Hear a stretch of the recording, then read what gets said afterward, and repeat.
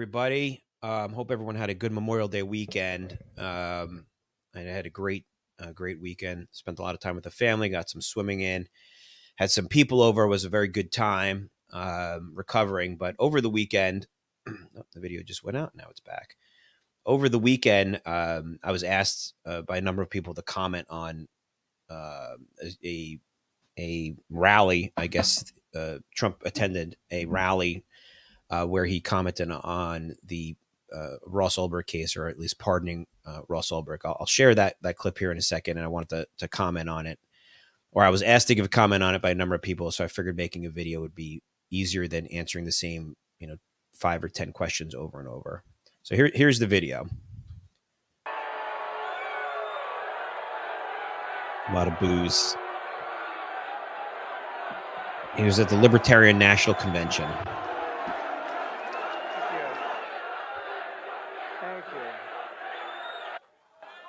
And if you vote for me on day one, I will commute the sentence of Ross Ulbricht to a sentence of time served. Hmm.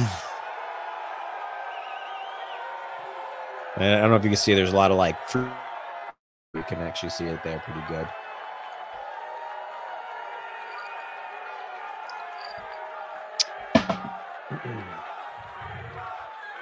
Free Ross chance. He's already served 11 years. We're going to get him home. We're going to get him home. That is why I'm committing to you tonight that I will put a libertarian in my cabinet and also libertarians in senior posts combined with us in a partnership. We're asking that of the libertarians. We must work together. Combine with us. You have to combine with us. We cannot give crooked Joe Biden four more years. We cannot give crooked Joe Biden four more years. It's hysterical. Um, all right, so a few things to unpack there. Number one, I give him credit for going out um, to what he had to have known was a, probably going to be a hostile crowd, and uh, and and speaking. A lot of boos there. So libertarians are, are pretty candid people with expressing their opinion. So you know that's their right to do it. Um, it's a little weird if someone's speaking at the convention and you're booing them, but it is what it is. He knew going into that. I think adding more libertarians into his cabinet is a fantastic idea. Um, you know, I think there's uh, there's a lot of things to be excited about and agree with uh, uh, uh coming from the Libertarian Party, uh, coming from Ron Paul, especially in light of what's happened over the last you know I don't know 15 or 20 years in terms of government and uh, government control and what happened during COVID and things like that. So those are all good things.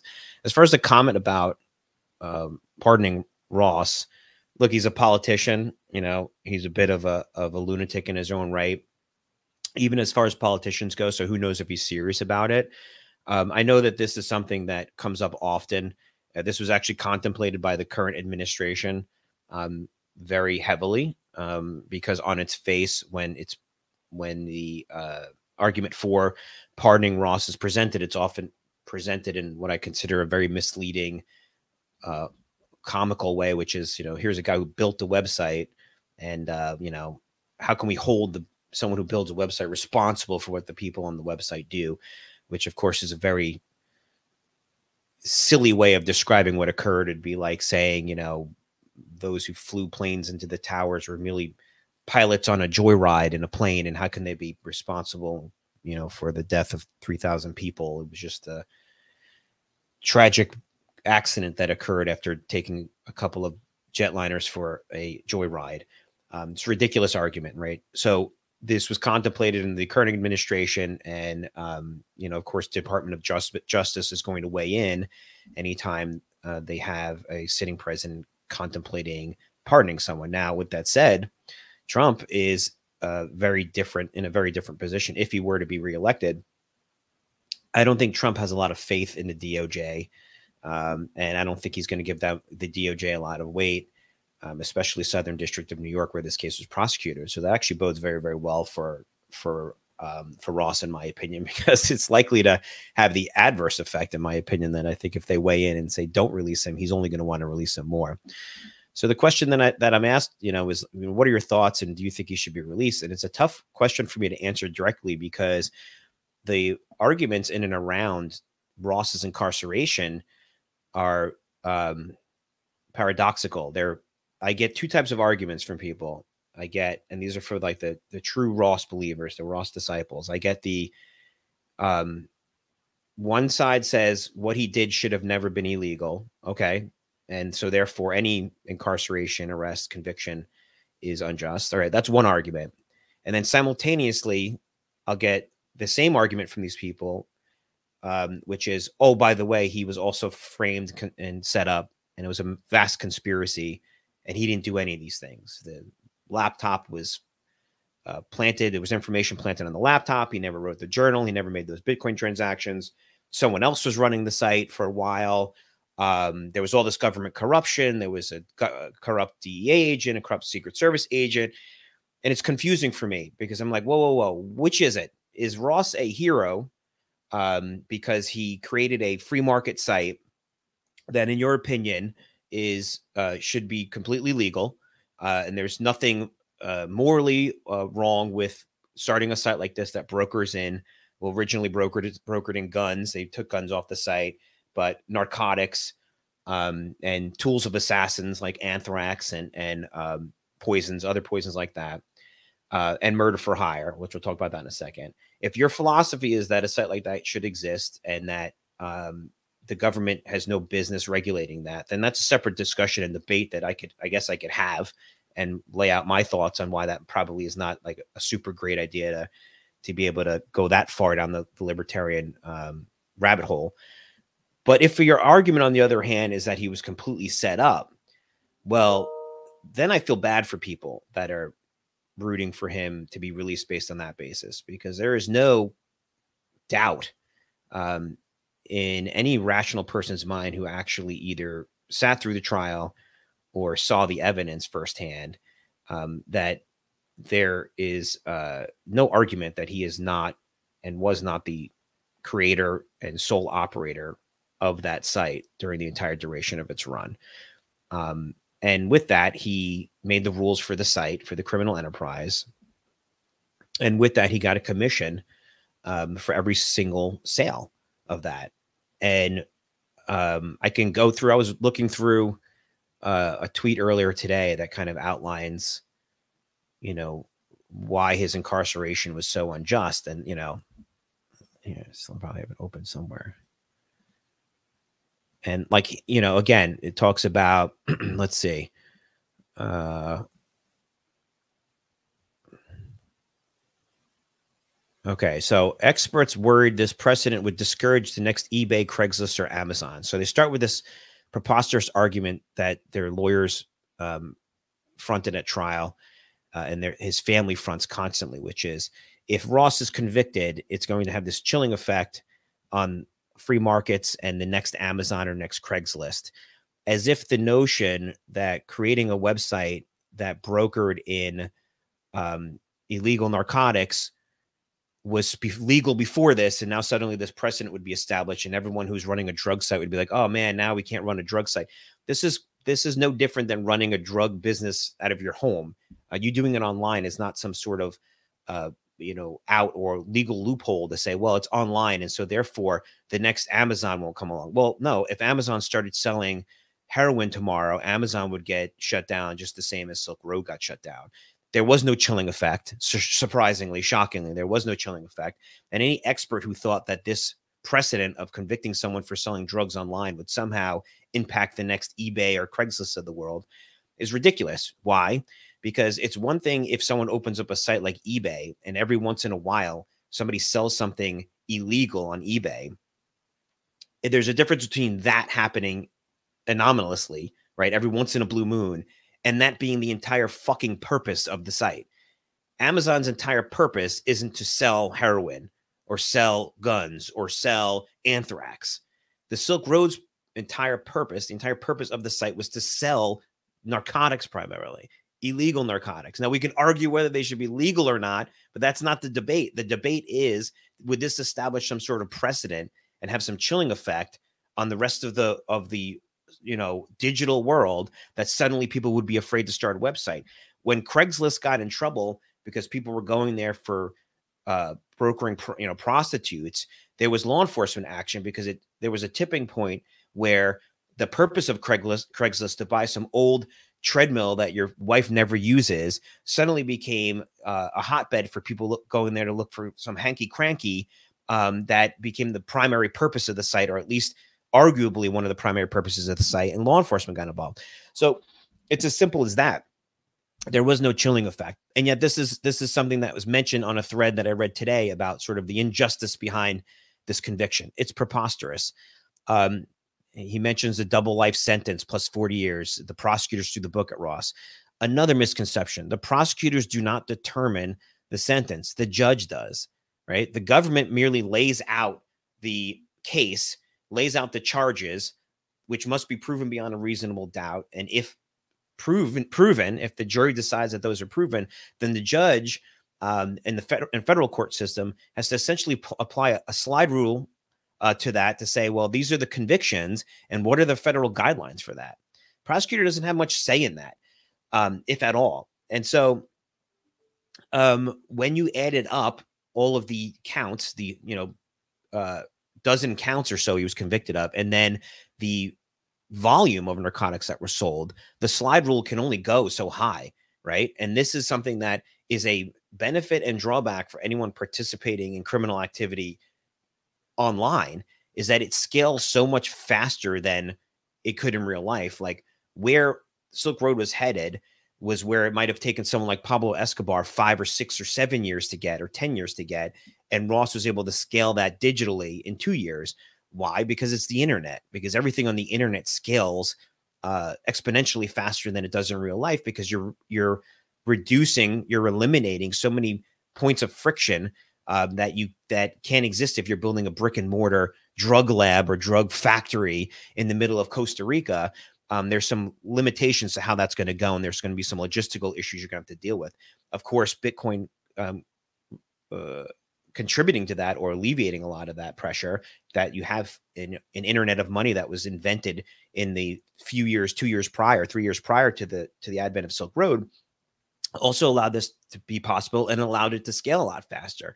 So again, what I find interesting about this case, and I've yet to find anyone who's um, discussed this part of it, which is the argument, in my opinion, the debate, in my opinion, should be centered around is there a difference? Should there be a difference between people who commit a violation IRL in real life, right? And this this point somewhat came up at trial, um, or um, is is it the same? If you do something digitally and you do something IRL, is it the same? And here's a here's a very easy example to wrap wrap your mind around. Um, distribution of child pornography, right? Distribution of child pornography, or let's say copyright violations related to, you know, uh, music, right? If uh, when copyright laws were written to protect the Motion Picture Association and Recording Industry Association of America, they were based, they were originally written pre-internet.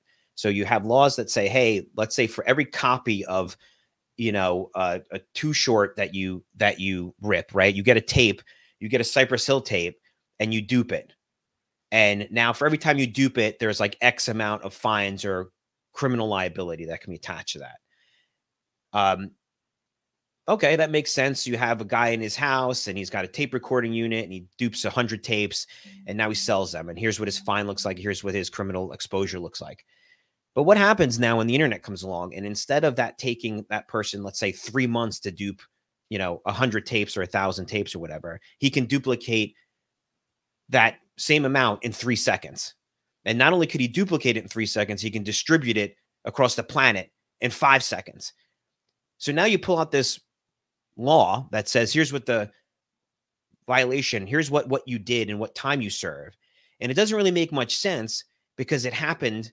He went from no time to life sentence in a fraction of a second, given the um, giving the aggregate aggravating aggravating factor um, that is the internet, meaning the internet is able to exacerbate, the internet is able to scale it so much faster that the person who maybe would have stopped at one tape or two tapes or three tapes ends up going from one tape to a 3,000 tapes in a fraction of a second. And now they're looking at $8 billion in fines, right? This is why when the Motion Picture Association and recording industry went after, remember in the early days of, of Napster, um, they were going after civilians and they quickly realized this is not going to work because you taking like a grandmother or some kid um, uh, you know who's 15 years old who shared you know a, a miley cyrus album a thousand times and they're looking at these insane fines and potential criminal liability and you're like how do we resolve this? Like this person just downloaded an album left it sharing for a month and then they calculated that it was shared a thousand times a million times whatever. It doesn't make any sense. So to me that's where the interesting argument is. Same thing where people I mentioned distribution of child pornography right? There's there are people back in the you know in the day right that when child pornography was distributed it was it was like polaroids right? That's what the FBI would investigate is people distributing hard copy Polaroids, things like that. Well, when someone gets caught with child pornography back then, right, they might have 10 pictures or 100 pictures. When I did arrests and we found child pornography, if I found less than 4,000 illicit images, it was a shock because it's it's a it's a fucking buffet out there. It's a feeding frenzy. So once these people get to these markets where they want to down, download child pornography, they could download one download one RAR file, one zip file that contains 32 gigs of child pornography, and now they're looking at 400 years in prison, let's say. So the the question is, the argument in my mind, the interesting argument that hasn't been had, that I'm waiting for it to happen, is do we need a separate set of laws that's a there's things called aggra- aggravating factors and mitigating factors when you're considering sentencing?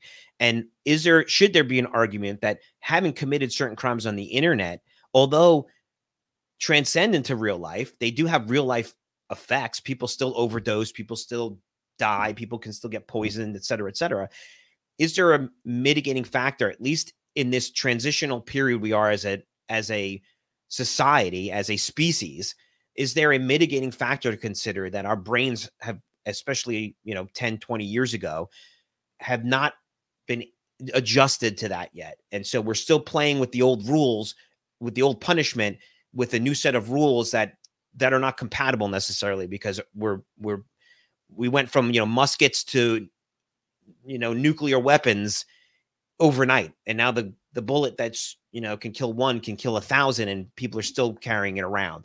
So i think that's kind of you know where people don't understand about the sentence. It, it seeming so harsh it's the same reason why judge forrest's logic right at the sentencing and it, it, was very sound and i encourage you to read it um her her sentencing i was there live. So uh, just so so people understand my context for how i know what i know about this is this was my squad that investigated i got transferred from the Colombo squad, um, Italian organized crime squad, to the cyber squad back in 2012 ish. Agents on my squad, three, two agents and one computer scientist in particular, were already investigating Silk Road. I was still wrapping my mind around how to investigate this new violation because I went over from something in a lot of ways that was very, very different. And when the case was taken down by these agents, they pretty shortly after the case came down left to go back to private sector and started the, started their private sector careers um, or some of them might have returned. I forget.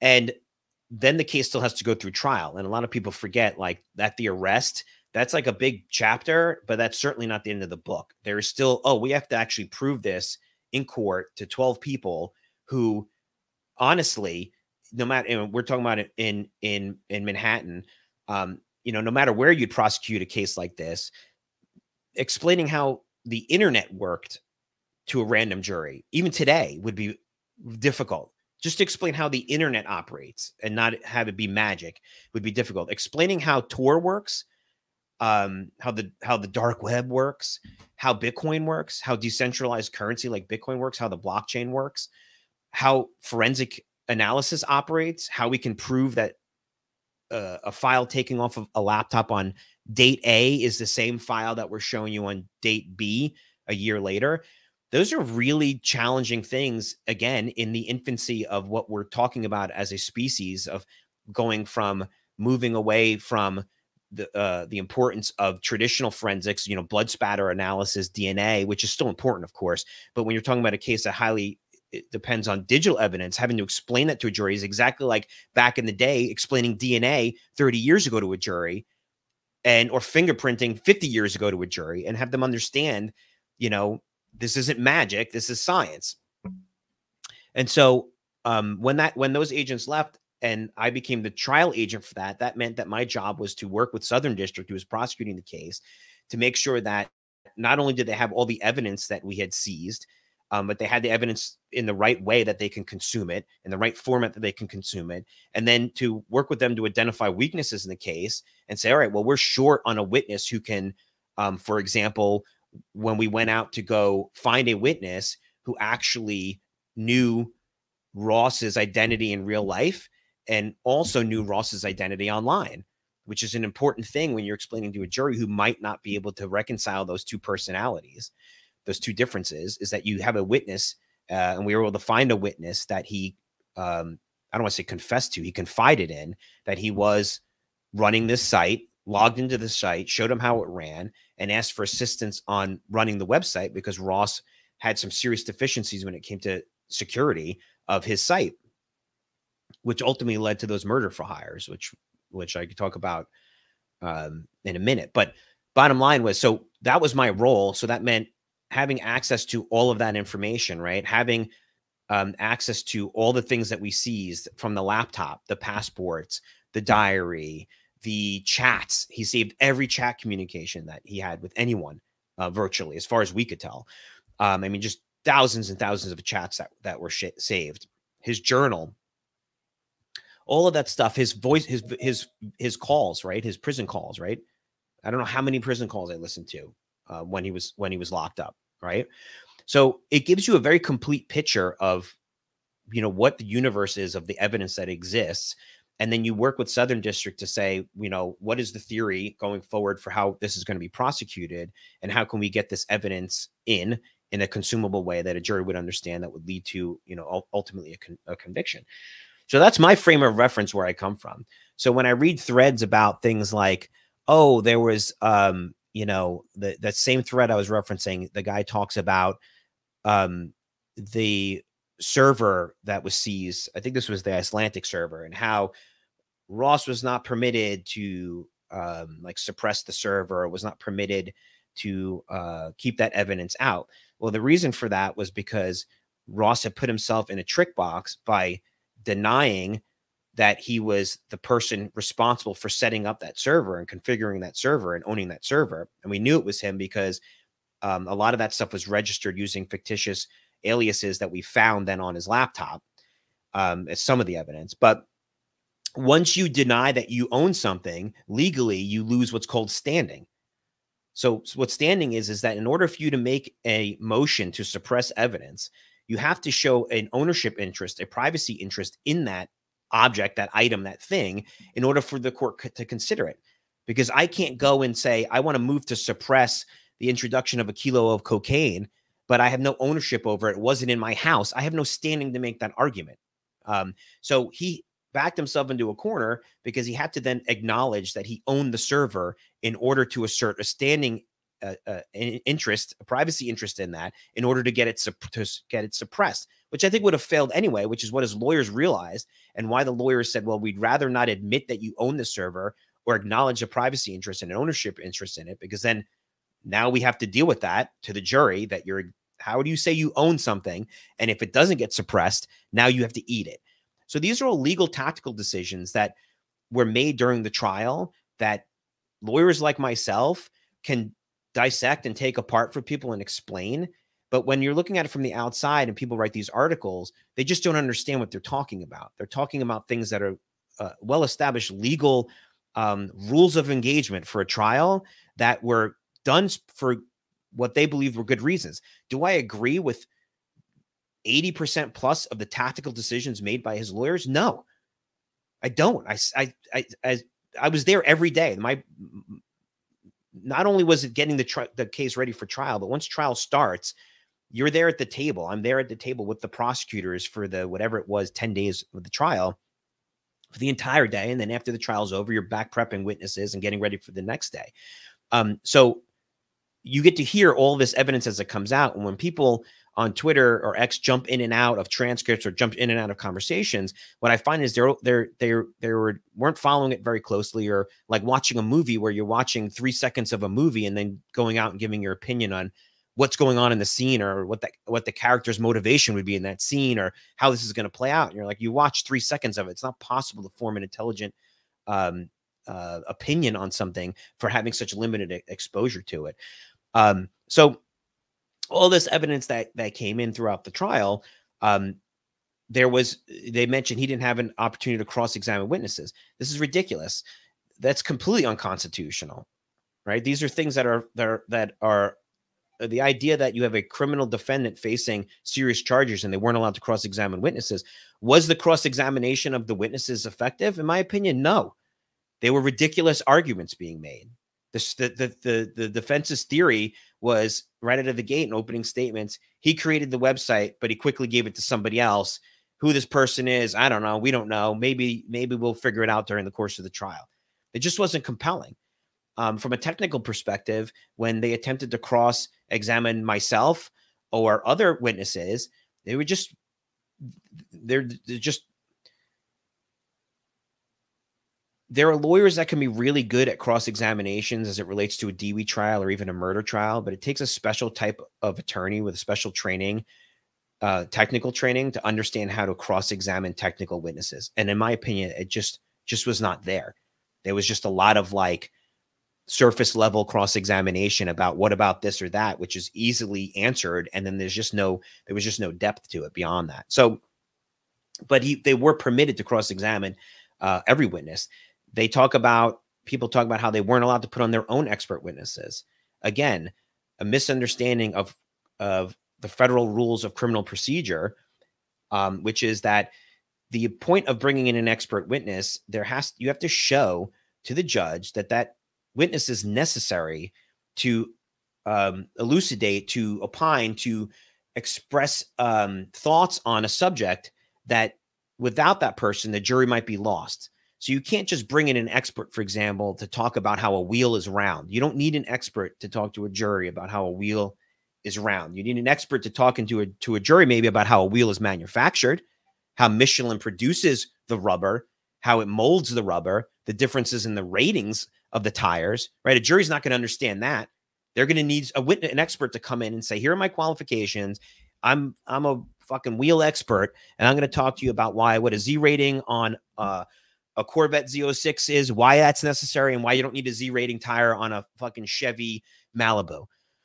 Um, and when we had put our witnesses on, our expert witnesses, our technical witnesses, to talk about blockchain transactions, to talk about digital forensics, how we image devices, how we hash those devices, how we can show that this is the same thing that was taken on that date, is the same thing being shown now. Um, there, they wanted to put on a computer expert witness, and I remember this at trial. It was frustrating because the judge gave um, Ross's attorneys multiple chances to show some cause of what is specifically is your witness going to add to this trial? What are they going to talk about? And his attorney just kept saying, eh, computer shit. He's going to talk about computer stuff. And then we get the CV um, of this witness, and it's like laughable. I mean, this person had no business testifying in court about whatever it was they were even trying to get at, which made no sense. So, you know, this person who tweeted something about Andre Antonopoulos, who, who I'm a huge fan of, uh, I don't know what they. Ex- I never heard anything about this at the trial. They were like he was willing to testify in his defense. Defense of what? His expertise would have been related to blockchain analysis. Um, they could have, if they were to dispute our analysis of what we saw happening on the blockchain as it related to wa- uh, the wallet recovered from Ross's laptop and the Icelandic server and the money flowing the coin flowing back and forth between that server and his laptop, they could have done that either through cross examination or put their own witness on. So I don't. Again, I, don't, I have no idea what people are talking about about uh, these witnesses that supposedly were willing to come in. They would have absolutely been allowed to that. And I'll tell you my experience. I've been through many trials at the FBI. Um, the uh, criminal justice system is weighted towards uh, making sure that defendants have wide latitude during trial. I've been torn up on cross examination on things that I know as a lawyer were completely inappropriate line of questions, completely irrelevant, completely beyond the scope of my direct examination. That the rules of uh, of the of the court would absolutely say the textbook tells you this should not be permitted. And I've had judges on multiple occasions allow this to go on because they want to make sure that they're preserving for the record that this defendant had every opportunity to explore anything they wanted to within reason without wasting the court's time or wasting the jury's time because trials can't be six months long. This is the OJ trial. So, um, and lo and behold, after this conviction, Ross has been through every appeal process imaginable. He's exhausted every appeal imaginable, and there's been no overturn. There's been or, no order for new trial. So I want people to understand in their mind, like if you're so convinced there was this like horrific misjustice, this horrific corruption that was occurring, um, how did it get through this entire appeal process? You're telling me there wasn't one, um, one judge in this entire process that wasn't corrupt? That didn't look at this and say, yeah, this is there was all sorts of rules of uh, criminal procedure violated here. There's all sorts of constitutional rights stepped on. There was 14th Amendment violations left and right. Um, you know, uh, which by the way, if you are prohibited or precluded from cross-examining, that would be like on its face, instant appealable issue, uh, instant new trial. If you were prohibited from putting on a reasonable witness um, after showing cause as to why you needed that witness, that's instant appeal. So these are all things that are like, when you look at it from a defense attorney's perspective, as a trial's going on, half of the trial is about defending your client, and half of the trial is about preserving the record for an appeal. And they tried left and right to do that, and they failed miserably. Um, so again, reconcile that. Okay, everyone in the world is corrupt. Everyone's conspiring. It's the only solution in that. That even through the appeals process, um, that that there was no judge uh, involved in any of this that that was willing to um, stand up for the Constitution and uh, and and and decide that that a new trial was warranted. Um, you know, of course not. Um, so and then finally, and I meant this to be like a five minute video, and of course I'm going off on a rant for 32 minutes. So, um, and again, a, a, the thing the thing you know hear often too about the um the murder for for hires that that didn't happen because they weren't charged. So therefore, if they weren't charged, people who would understand how uh, criminal court works and how prosecutions work would say, well, if it was wasn't charged, it must be because it's not true. Well, no. Um, when you're putting a case together and you're deciding what charges to bring, you must also consider the um, again length of the trial and whether those charges help or hurt your overall case if the charges that you're already bringing, the core meat potatoes of the charges are regarding narcotics trafficking and conspiracy around narcotic, narcotics trafficking, which is what Ross's case was. There was like the, um, you know, like distribution of of hacking tools or whatever, and those are like whatever, you know, whatever charges. But the core of it was obviously related to the narcotics. Um, adding in the murder for hire charges, which were very strong, but knowing full well that no one was ever actually murdered and that it was the government's belief that he was absolutely scammed, um, that he was tricked into paying $160,000 in Bitcoin at the time for like five murders, that anyone with any street smarts would read these transcripts and be like, he's absolutely being manipulated. And this was something wise guys did on the organized crime side all the time, right? They would target restaurant owners, business owners, and create a a piece of fiction around some threat or some violence that may happen and use that as the basis to get them to let's say pay for something to be done either pay for protection pay for someone to be murdered et cetera et cetera and the entire thing is just fabricated ross was manipulated because his site um, was constantly being ha- hacked and this is documented in his own journal. This is documented in his spreadsheets that he kept um, documented in his one-on-one conversations with Variety Jones and other people he confided in about the site being hacked and how he was very much knew he was in over his head in terms of the security of the site because he wasn't you know this was all first of all uncharted territory for a lot of people generally but this wasn't his you know this wasn't his training by trade he was very smart he is a very smart guy but you know designing websites secure websites on Tor uh, was not like his forte. And so, um, and so, uh, because the site kept getting hacked, he kept finding himself in situations where people were writing him and saying, "Hey, I know who hacked the site," because a lot of these hacks were public to the users because money went missing, uh, or people were posting things about it in the forums that their site was hacked. So people were asking questions. Well, at one point, he's manipulated because somebody says someone does hack the site, steals a bunch of user and vendor information, which is in his own words, you know, sort of the most important thing about the site was the anonymity it provided, the perceived anonymity, an anonymity provided. And then someone else contacted him claiming to be the Canadian chapter of the Hells Angels saying, Hey, I know who stole this information. Would you like me to take care of it? And in his own saved chat logs, which were recovered from his computer, that was in his fucking on his table with his fingerprints on it at the Glenmont Public Library in San Francisco, on that laptop that he was actively using at that moment when it was taken away from him, was where these chat logs which were saved, where he goes down and basically weighs out the pros and cons of having these people murdered. And he ultimately decides that it's better to have these people murdered to protect the site than it is to have these people divulge this information.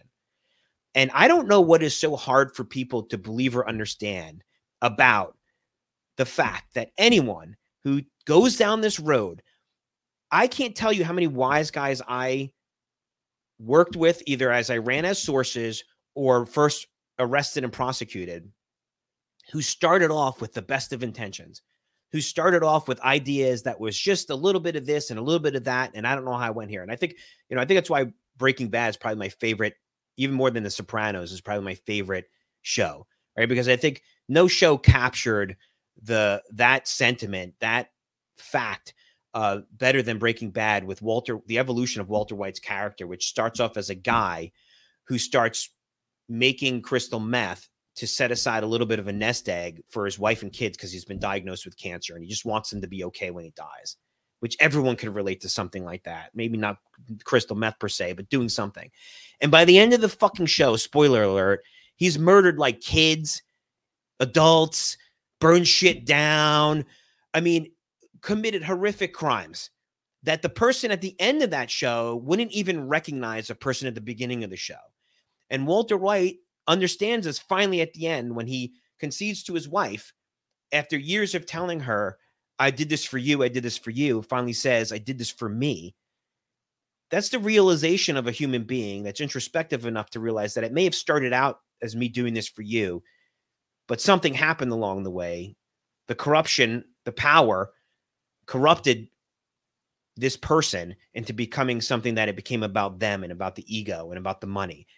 And um, that's where Ross ended up when the murders for hired happened and had there not been intervention, had the site not been taken down, eventually Ross would have paid to have someone who was going to be murdered who actually would have fucking been murdered.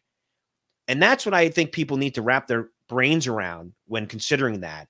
And I could prove to anyone seven ways to Sunday how we know 100% fact that that was Ross behind the keyboard sending those messages. It was Ross that transmitted um, those Bitcoin payments from the wallets that we recovered from his laptop that there were no other transactions on except for the ones that he was doing in relation to the site. It wasn't that wallet was not co-accessed. Those private keys were not shared with anybody.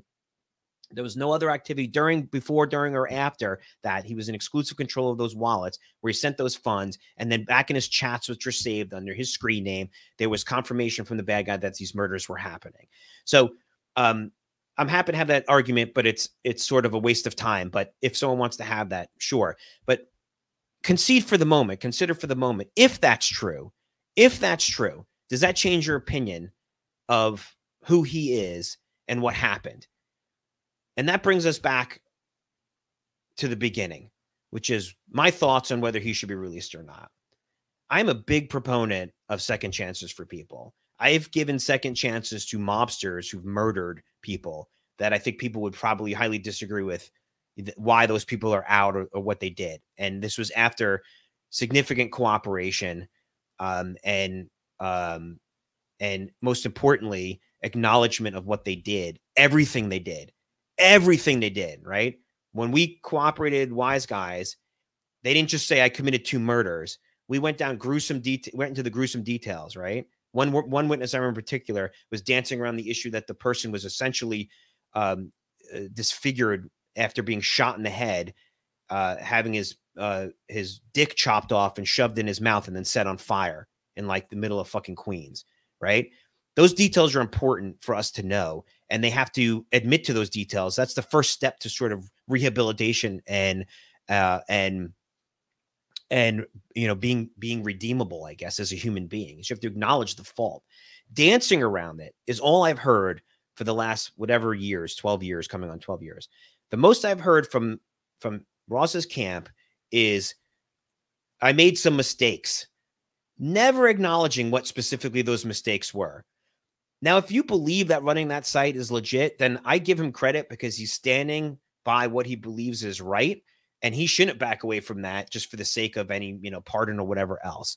Right.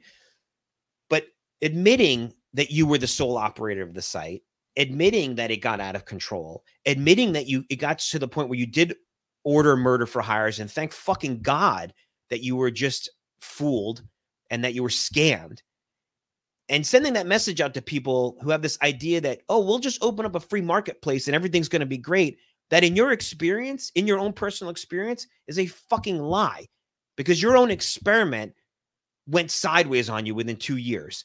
Forget being arrested. Pretend that wasn't even a crime.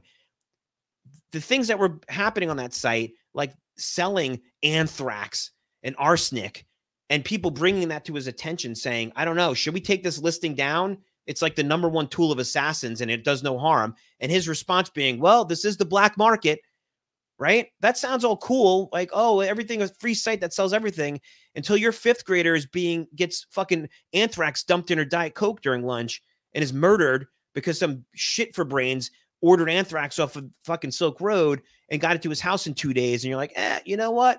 Que sera, sera.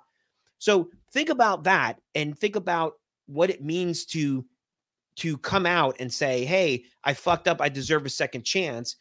You know, I may still believe in certain principles, but I but I think we all agree that things got out of control. I haven't heard anything like that from him. Now, at first, I thought it was because he was smart enough to know that he was going to exhaust all his appeals. Like at sentencing, right? Ross was like, what, two feet behind me? there was just nothing but hey give me a chance to get out you know eh, eh, mistakes were made nothing acknowledged okay i understand that as a lawyer i can appreciate the fact that you're not going to want to admit to anything in your sentencing that you may believe you have a viable appeal all appeals have been uh, exhausted there's nothing left and i still haven't seen any sort of um, you know acknowledgement or understanding and i think at this point he's so far down that path of denial about some of the awful things that happened that I think if he gets out, he's just going to continue to deny that. And it, it sickens me that the public, there's a big portion of the public that are going to be fooled into believing that because these murder for hires were never charged, um, that they didn't happen. Um, because that there was no actual victims, because they didn't actually ha- happen, the murders for hire, it's like it didn't exist. Um, those charges were not included for specific reasons, It's It just didn't help our case. It confused the case. It was we acknowledged right in our opening statements that those murders never happened, um, but it was shown to the jury as it is in every organized crime trial that shows control over the enterprise. Because if someone's in a position that they're murdering people to protect the criminal enterprise, that's really good evidence that they're in control of that enterprise. That's why that was shown to the jury. And that's why it was considered for the jury only in that context. And it was not considered to the jury or to the judge for sentencing. And Judge Forrest went out of her way to make sure that was clear. What was considered for sentences was only the things he was convicted on. So this is normal. This is normal stuff. So, and as far as what he could do, the timing of this all happening is interesting to me because something's going to be released in probably the next month or so um, by a major news organization about um, about another case I was involved in that uh, had a very different outcome that has some similarities to this. And um, when that does happen, and I want people to think about the two choices that the people involved, um, the choices that everybody made in, in that, and and which might be the better or which is the worse in your opinion, or how it affects the outcome of it. Um, and and I think it'll maybe add something to this overall conversation about you know what this sentence uh, looks like and why this sentence was so steep and what the outcome should be. So for me, my hope would be that do I think Ross should necessarily die in jail? No, I mean there's a good argument, uh, you know, and I've thought about this probably more than most. Um, you know, I do believe in second chances. I believe that Ross's um, what Ross was in real life uh, was very different than what Ross was online. And again, for people that are new to crime, that don't understand that that is actually very common for criminals. Um, people that I arrested that were, you know, on the administration level of the Colombo family had family members that would swear up and down about what great people they were. So it is very possible and and and dare I say very common that criminals figure out ways to live two disparate lives. Um, and that one side is this person involved in criminal activity, and one side is um, this person who on their face treats people very well, very very well. I think Ross had had a, um, you know did not have a history of uh, treating people poorly or doing you know horrible things. I think quite to the contrary. I think Ross is probably was a good person. I think um, getting involved and starting this site may have even started for sort of the right reasons, but until, in my opinion, until there's an acknowledgement of everything that happened, and let's stop with the I was framed and the tinfoil hat bullshit that just confuses the issue. Um, until that happens, then in my mind, a person isn't worthy of a second chance because you can't you can't just say, "Oh, I did I did some stuff."